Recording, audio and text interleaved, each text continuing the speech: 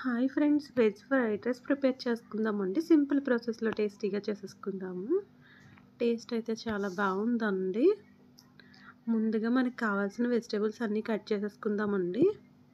నేనైతే carrot capsicum వాడుతున్నానండి. మీరు కావాలంటే క్యాబేజ్ ఇంకా మీకు ఏమేమి కావాలో అవన్నీ తీసుకోవచ్చు. చూస్తున్నారు కదండి క్యారెట్ క్యాప్సికమ్ కరివేపాకు ఫ్రైడ్ రైస్ మసాలా అండి.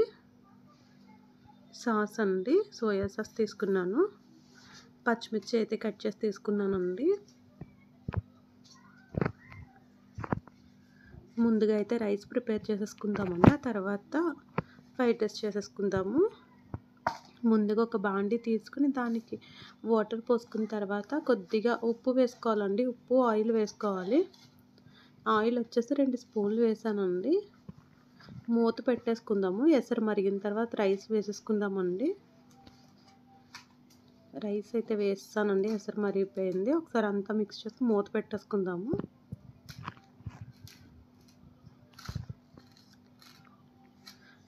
రైస్ ఉడికిపోయిందండి. ఇంక వాట్ చేసుకుందాము. వాట్ చేసిన తర్వాత రైస్ చల్లారి పెట్టేసుకుందామండి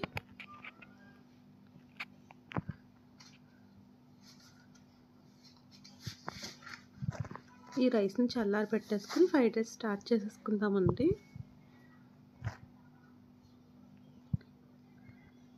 చూస్తున్నారు కదండి ఈ విధంగా పెద్ద పాత్రలోనే రైస్ని చల్లారి పెట్టుకోవాలి. లేదు అంటే మార్నింగ్ రైస్ వండుకుంటాం కదండి ఈవినింగ్ మిగిలిపోతే ఫ్రైడ్ రైస్ కింద కూడా తాలింపు పెట్టేసుకోవచ్చు. పిల్లలకి లంచ్ బాక్స్లో చేయడం చాలా సింపుల్గా ఉంటుందండి.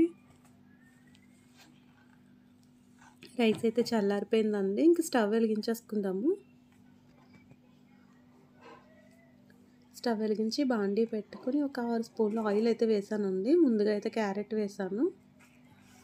మరీ ఎక్కువ వేయకూడదండి. లైట్గా వేగితే సరిపోతుంది. అన్నీ ఇంట్లో ఉన్న వాటితోనే చేసేసుకోవచ్చండి. చాలా బాగుంటుంది. మీరు కావాలంటే బఠానీ అన్నీ వేసుకోవచ్చు అండి నేనైతే ఇంకేం వేయట్లేదు. క్యారెట్ వేసిన పది నిమిషాల్లో తర్వాత క్యాప్సికమ్ వేస్తున్నాను అండి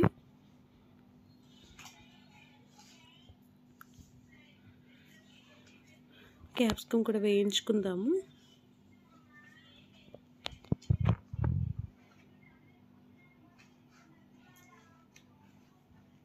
కరివేపాకు వేసేసుకుందామండి.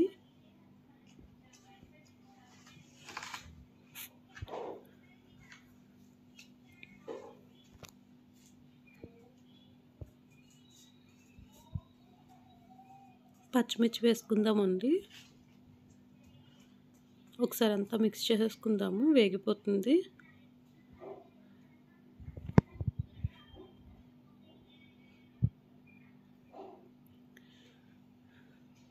అంతా వేగిపోయిందండి.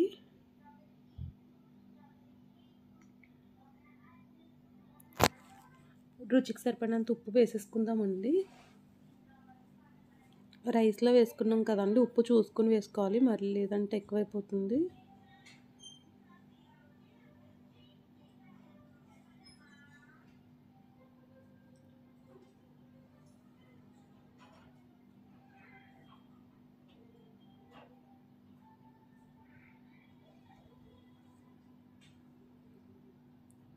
అంతా వేగిపోయిందండి. ఫ్రెష్గా చేసి పెట్టుకున్న అల్లం వెల్లుల్లి పేస్ట్ వేస్తున్నానండి. టూ స్పూన్స్ వేసాను పచ్చివాసన పోయేంత వరకు ఇదంతా బాగా ఫ్రై చేసుకోవాలండి.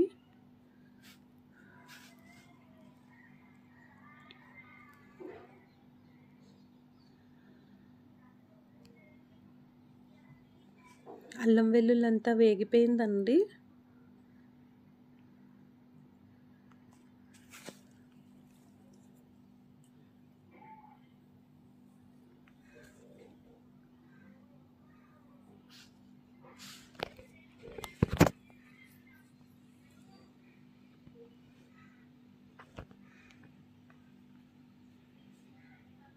ఫ్రైడ్ రైస్ మసాలా ప్యాకెట్ అయితే వేస్తున్నానండి. చిన్నది తీసుకున్నాను. ప్యాకెట్ ఫోటో అయితే వేస్తానండి.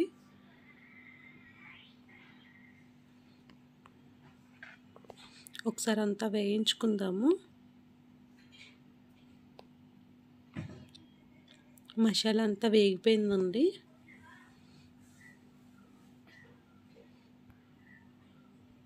సోయా సాస్ వేసుకుందామండి.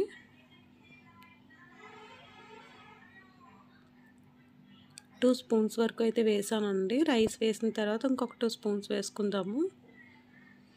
వేసిన తర్వాత అంతా ఒకసారి మిక్స్ చేసుకుందామండి. హాఫ్ టీ స్పూన్ కారం వేస్తున్నానండి. హాఫ్ టీ స్పూన్ పసుపు వేస్తున్నాను. ఒకసారి అంతా మిక్స్ చేసేసుకుందాము. చిటికెడు పంచదార వేసానండి.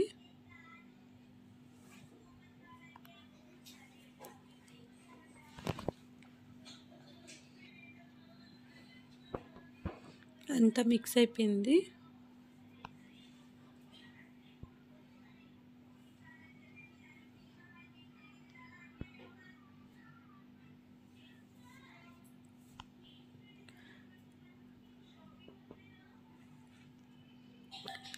ఉడికించి పెట్టుకుని రైస్ వేసేసుకుందామండి.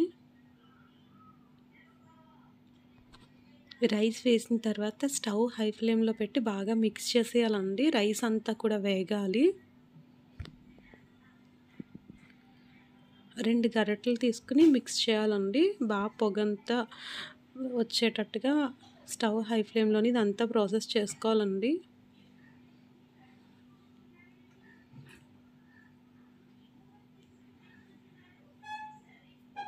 ఈ మసాలా అంతా కూడా రైస్కి పట్టి ఫ్రైడ్ రైస్ రైస్ టేస్ట్ చాలా బాగుంటుందండి.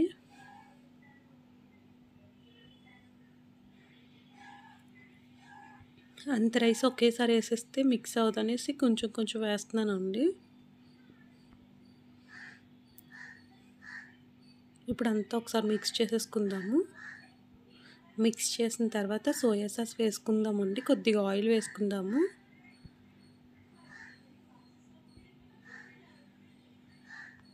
వీడియో తీసే వాళ్ళు ఒక హ్యాండ్తోనే మిక్స్ చేస్తున్నానండి. ఇంకా ఫోన్ పక్కన పెట్టేసి రెండు గరిటలు తీసుకుని మిక్స్ చేస్తానండి.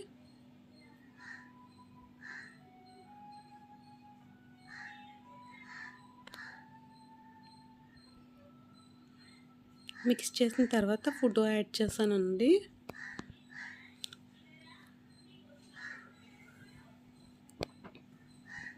ఇంకా రైస్ ఉందండి. ఇంకా పెద్ద పాత్రలోకి వేసి మిక్స్ చేయొచ్చు అనేసి స్టవ్ అయితే ఒకసారి స్లోలో పెట్టానండి.